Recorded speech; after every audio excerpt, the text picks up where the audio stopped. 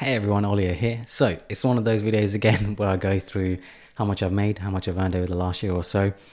There are a few things I haven't mentioned here, things like my investments and stuff. I just didn't think they really made sense because they're investments. They're not really making me money. They don't make me money until I actually sell them. So yeah, those things aren't covered.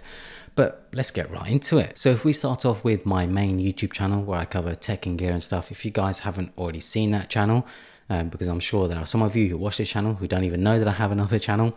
But yeah, on my main channel, I cover tech and gear, reviewing products, um, and just sort of productivity stuff as well, things that I'm interested in. It's a lot less finance related compared to this channel, of course, um, and it's more artistic as well. I do put a lot more effort into B-roll and things like that. So from the main channel, if you look at the YouTube AdSense revenue, this is just from the YouTube ads, the ones that you see at the beginning, middle, or end of the video. It also includes super chat in live streams um, where you can highlight one of your comments or questions. And it also includes channel memberships where people get exclusive access to stuff like wallpapers. So AdSense revenue for the main channel is $40,000, which isn't bad at all. I'm actually pretty happy with that considering the size of my channel, how small it is, uh, the views I get and stuff like that. You know, I'm not getting millions of views a month and here I am making $40,000, which honestly I, am impressed by it. I think I think that's actually pretty good for my channel. If we move over to my second channel, which is this one, the revenue I've earned for this one. So I only actually started making money from this channel in March. That's when I got monetized and I've made $5,000 from this channel. Considering I only upload probably one or two videos a month on this channel and I've made $5,000 and these videos aren't as much effort as my main channel videos, mainly because obviously I'm just sitting behind a desk and going through stuff that I already know. So I don't have to put as much effort into them. So $5,000, that's pretty good. And it makes me think if I uploaded videos more regularly on this second channel, maybe I uploaded a video a week or two videos a week. I don't think I can do two videos a week. I don't have the time, but and it's because I, I wouldn't want to. I don't have enough stuff to talk about. But if I did a video a week, I definitely think I could really boost up that revenue number. I could make it go much higher, mainly because the RPM and the CPM is so much higher than my main channel. Naturally, because I'm covering finance and business related stuff, those topics make a lot more money compared to tech and gear. If we then move into sponsorships, so this includes both YouTube sponsorships and Instagram sponsored posts. So in the middle of the video, you might see a sponsored product or service that I've recommended. Um, companies pay to put that product right in the video. I do disclose them every time, of course, you have to disclose them. I do say, you know, this is a sponsored part of the video or whatever, but usually it aligns very well with my audience. I get emails from all sorts of companies wanting to sponsor their stuff, and I'll be honest, most of it is just crap. Even if they're offering good money, I'll turn it down mainly because it just doesn't align with my channel. I try to only do sponsors that really align with my audience, really align with what I think is a good product or service. So I won't mention exactly how much I got from each sponsor because I don't think I can really. You know, companies don't really want other people to know. But when I added it all up, it, this actually blew me away.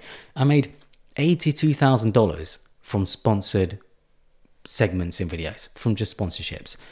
That is insane to me. I think that just shows how valuable sponsored segments can be in videos. A lot of the creators that you maybe watch on YouTube when they do sponsor stuff, they the reason they do it is because the money they make from it helps them grow their channel, helps them make an income. Sure, $40,000 of AdSense revenue for my main channel is a good amount of money, but that's just not enough to live on, especially if you live in a in a major city.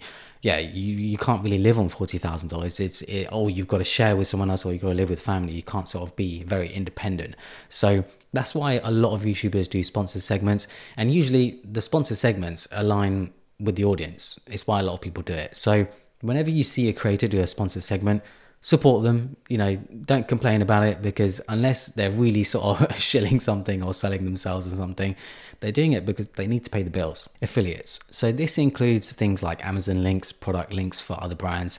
So I cover a lot of tech and gear on my main channel, of course. And naturally, a good way to make money from that is to link to the product and for me to get a kickback from linking to that product from sharing it in one of my videos. So, you know, every time someone clicks on it, they use my link, they buy it, I'll then get a commission from the brand, from the company, whatever it is.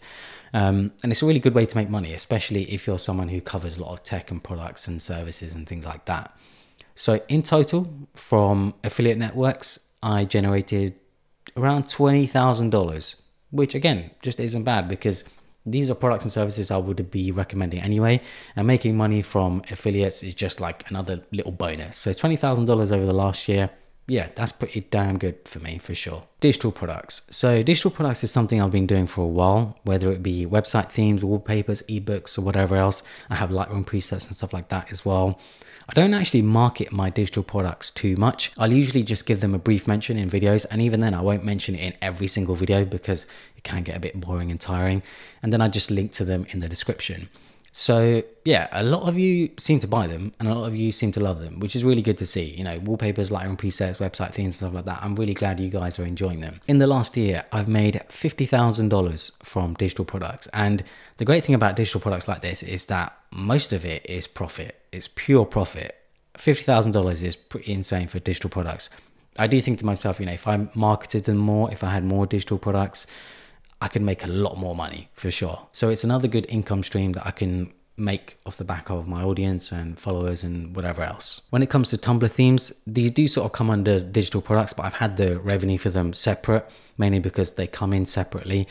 I made another $6,000 from Tumblr themes.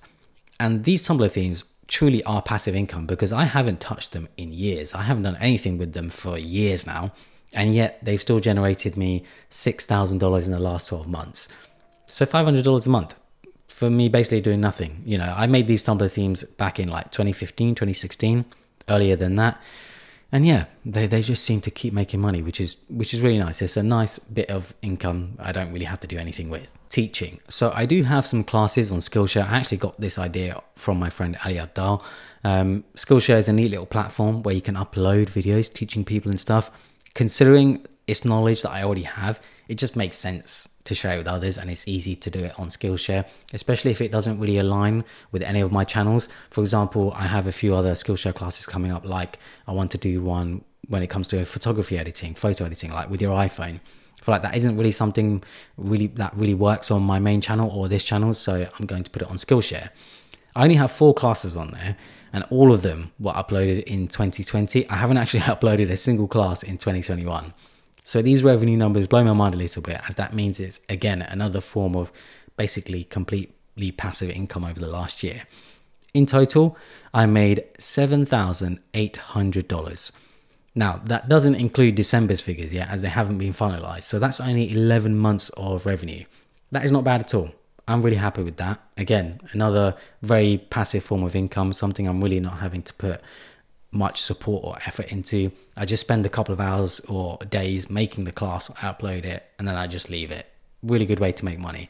Um, it does help though, obviously, that I already have an audience. You know, having the audience, being able to drive them to my Skillshare classes, people interested in learning a few things here and there yeah, it really does help. And I think that's why my Skillshare classes have been making money. As far as I can tell, I haven't actually been getting many students from the Skillshare platform itself. Most of the students are coming from my own audience. Next up is my Shopify store. This is a big one, ulxstore.com. So it made $678,000 in the last year. Now, incredible number for sure, but it's not actually as good as the year before. The year before, I made $1 million.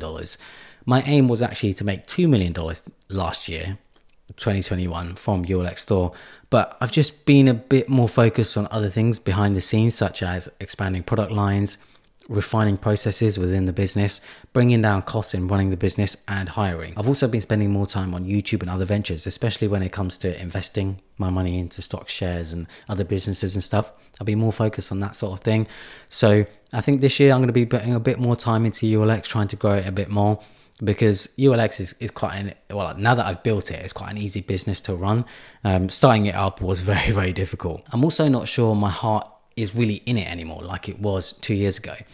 ULX was always sort of an experiment to see what I could do with a physical product business, see if I could actually build a physical product business. I wanted to test myself basically and see what I could do by getting into a business that I had no knowledge of whatsoever. I just wanted to see if I could build a business like this.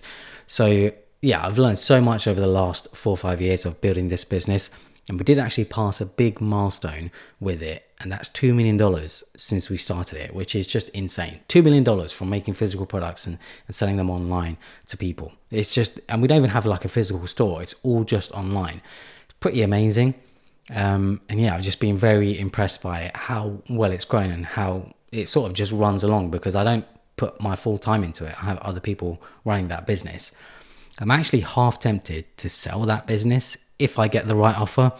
I think actually the most valuable part of that business is the customer data. Some people don't realize how valuable it is to have customer data, previous customers, with all their info, such as um, emails, addresses, and things like that. It's always easier to sell to previous customers compared to new customers. And previous customers are usually your biggest fans. They usually tell other people about your brand. So yeah, ULX Store has definitely been an awesome business that I've been running over the past few years. I'm going to keep running it. I'm going to keep growing it, trying to grow the income. But like I said, you know, if, if I get the right offer for the business, if someone wants to buy it off me, I might accept. It really depends. So if we add it all up and see how much I made over the last year, it amounts to 800 and $88,800, which is just insane. That's such a crazy amount of money to me.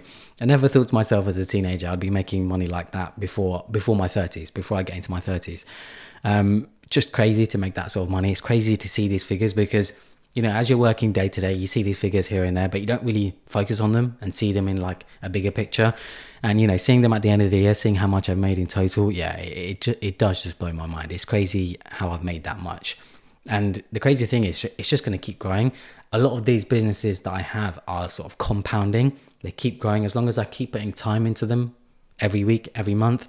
They're just going to keep making money. So who knows where I'll be next year? Because in the last year, I've put a lot more time and money into investments and assets and things like that, things that can just grow in value without me having to do anything. I might do a separate video or something, or maybe I might share it in my newsletter going through some of the assets and investments that I have right now. Um, because my assets and investments and stuff over the last year have like doubled, nearly tripled in value, which is just madness, absolute madness. I mean, they should really, considering inflation has been also a bit crazy. But I'm also thinking of how I can expand my income streams. I still want to make some sort of course at some point. I want to make more digital products such as wallpapers, Lightroom presets, Notion templates. I was also very inspired by a TikToker recently that shares Microsoft Excel tips. That's all she shares on her TikTok. And she sells guides off the back of that. And sometimes she's making herself six figures a day. Six figures a day, which is just insane. That's absolutely madness. That's the that's the most impressive thing and all she's doing is sharing Microsoft Excel tips and courses and things like that. Honestly, fair play to her. That is a very incredible thing that she's done there. And honestly, like just fair play. like that's just it's just so good. I also really want to make Shopify themes. I'm actually currently working with a developer on one. I want to start a micro SaaS business, so a software as a service, some sort of small software as a service business that maybe I can charge like five or ten dollars a month, or maybe fifteen dollars a month. Something that does a task or or a service or whatever very specifically, very particular. Um, I don't really have any ideas, I'll be honest right now, but I'm sort of just experimenting all the time. And I also want to take on more client work. I didn't really take on much client work over the last year. It's why I haven't even included it in these figures. But yeah, I want to take on more client work. I want to take on more branding work, more video work, photography work, because I really enjoyed it. I did take on some photography work and video work for some brands, um, but I want to do even more of that. I want to really build a sort of studio around it because I realized I enjoy doing it. I enjoy the creative side of stuff. That's what I enjoy doing most. And making money for, off it is just great. You know, being able to make money off doing what I love. That's like the absolute dream. So the plan going forward over the next year is to spend more time doing YouTube. I've realized I really enjoy doing YouTube. I've loved doing it over the last year and I want to do more of it. I want to spend more of my time doing it because it's just such a creative outlet for me. I really, really enjoy doing it. I want to make more Skillshare classes, sharing sort of specific knowledge, you could say, in specific areas. Um, I want to expand the team further to help me produce more content, to help me run more parts of my business. And of course, like I said, I want to take on more client work um, yeah, those are some of the things that I have planned over the next year. But yeah, that's just me going through some of my income streams over the last year. It does just blow my mind that I can make money by sitting behind a computer and sitting behind a camera. It always blows my mind. It's just such an insane thing that I can do. Um, hopefully, it inspires some of you. It's why I make these videos. I want people to realize that you can start a business from home, that you can just sit behind a computer and make money, share your knowledge, learn skills, things like that. Yeah, just hopefully inspire some people. If you guys enjoyed this video, please leave a comment below. Maybe put the word income in the comment because I want to see how many people got to the end of the video. Hopefully you guys enjoyed it. Follow me on Instagram and Twitter and subscribe for more.